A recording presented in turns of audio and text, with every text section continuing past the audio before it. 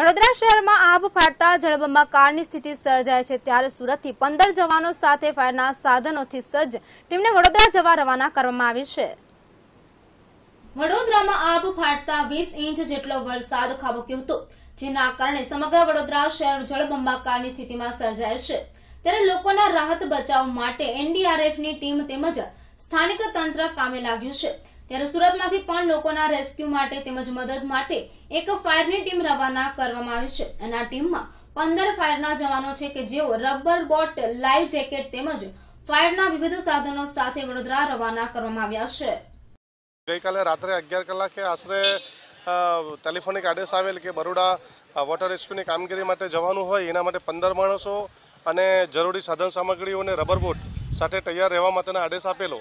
એના અનુસંધાનમાં આજ રોજ સવારે અગિયાર કલાકે મહેરબાન સીઓપોશ્રીનો ફોન આવતા અડાજણ ફાયર સ્ટેશનથી અલગ અલગ ફાયર સ્ટેશનના તરવૈયાઓ અને પંદર માણસોની ટીમ બનાવી ત્રણ અલગ અલગ પ્રકારની light weight rubber boat life jacket ring buoy petrol diesel અને જરૂરી પડતા સાધનો લઈ અને સુરતથી બરોડા જવા માટે રવાના થવાની તૈયારીમાં છે.